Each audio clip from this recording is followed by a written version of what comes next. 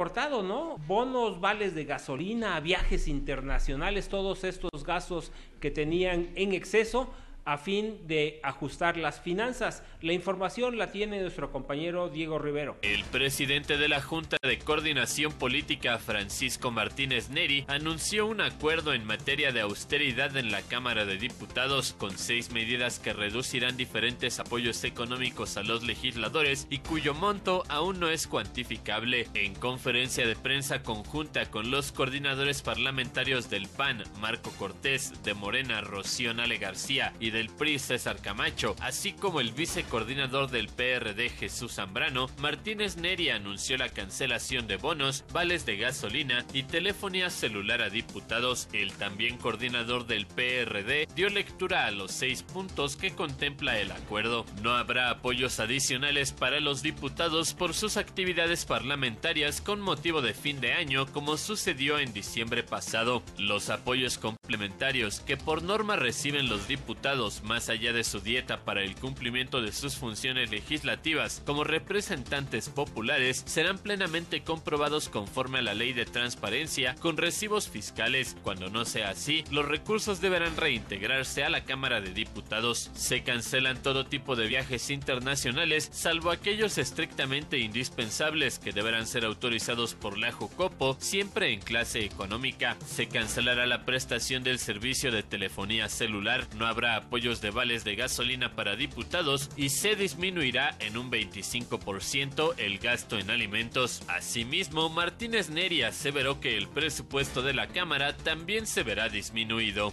Para el punto crítico, Diego Rivero.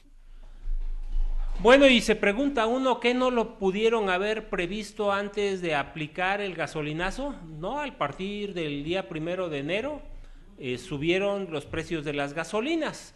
Hay que recordar que en México todavía no están liberados los precios de las gasolinas. Hay un solo actor, hay un monopolio.